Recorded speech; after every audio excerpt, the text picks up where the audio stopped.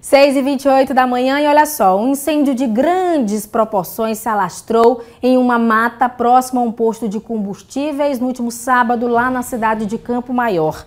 Brigadistas e duas equipes do Corpo de Bombeiros Militar do Piauí estavam no local tentando justamente impedir que esse fogo se alastrasse pelo terreno. O Vitor Candeira está ao vivo e tem os detalhes a respeito desse trabalho, né, Vitor? Realmente é uma preocupação muito grande nacional aqui no Piauí. As equipes estão reforçando esse trabalho justamente quando surgem esses princípios de incêndio. O que, que você apurou aí da região para gente? É com você. Bom dia, Tracy, mais uma vez. Bom dia para você de casa que a audiência. Olha, Tracy, a início de primeira, as pessoas na cidade de Campo Maior estavam bastante preocupadas, né?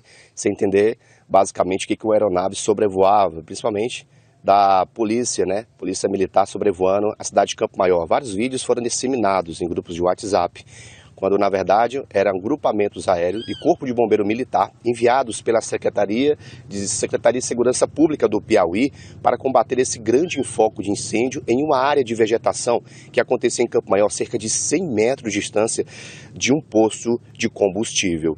Pelas imagens, a gente pode mostrar também agora, nesse exato momento, o vídeo que está passando na tela para você de casa. A gente acompanha o tamanho do foco de incêndio, né?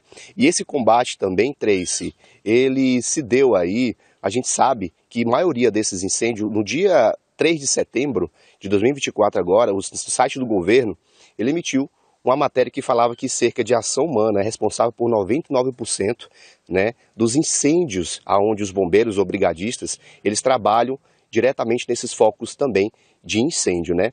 Importante lembrar aqui que o combate de frente a esse grande foco de incêndio de grandes proporções na cidade de Campo Maior, ela foi liderada, três, tá? Pelo gerente de operações da Secretaria de Segurança Pública, Coronel Cleiton Frota, com o apoio do capitão do Corpo de Bombeiros Militares do Piauí, William Bogé. E agora a gente chama para falar e detalhar mais um pouquinho de como que foi esse combate, esse foco de incêndio, o coronel gerente de operações, Cleiton Frota. Só no mês de setembro, o grupamento aéreo já foi acionado duas vezes para realizar o combate a incêndio.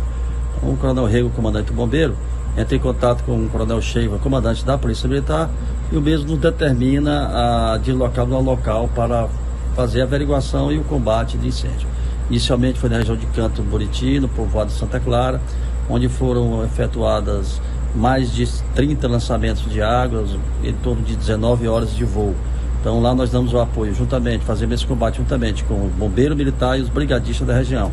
A aeronave faz o, o seu serviço, tanto lançando a água diretamente no foco de incêndio, bem como fazendo um levantamento da área e transportando bombeiro e brigadista para o local para esse combate direto. Nós tivemos na região de Campo Maior, onde ali na, próximo ao posto da Polícia Rodoviária Federal, lá também tem um posto de combustíveis, pegamos, fomos acionados pelo comandante-geral, coronel Sheiva, para que a aeronave pudesse se deslocar para lá.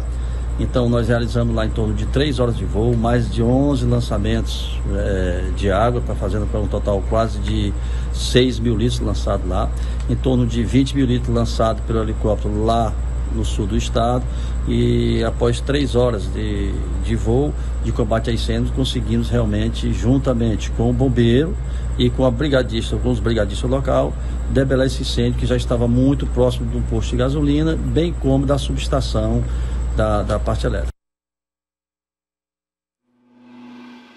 Tá aí, três. Como o coronel Cleiton Frota, gerente de operações, ele bem reforçou que esses pontos importantes, né, antes da, da nave, do Bopaé ser acionada, já tinha um trabalho aí já dos brigadistas locais trabalhando e duas equipes de corpo de bombeiros militares já tentando conter o de forma é importante ressaltar de forma estratégica, né? A gente olha aí que é um trabalho conjunto da Secretaria de Segurança Pública com as equipes de policiamento e brigadistas também locais dessas regiões. E a gente observa também, Tracy, que esse foco de incêndio iria trazer risco, né? A um posto de combustível aí e felizmente chegaram a tempo e de forma estratégica, de forma excelente, conseguiram aí fazer esse combate. Ele também reforçou, foi cerca de 7 mil litros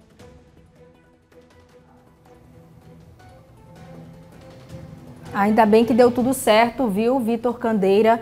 O Vitor que trouxe todos os detalhes a respeito desse trabalho do Corpo de Bombeiros, um trabalho incansável, gente, incansável, para justamente, para justamente tentar debelar essas chamas É um trabalho árduo, estratégico também. São brigadistas que foram treinados para atuar nessas condições e nessas circunstâncias. A gente acompanha tudo daqui com muito pesar, muita preocupação e torcendo para dar tudo certo, viu?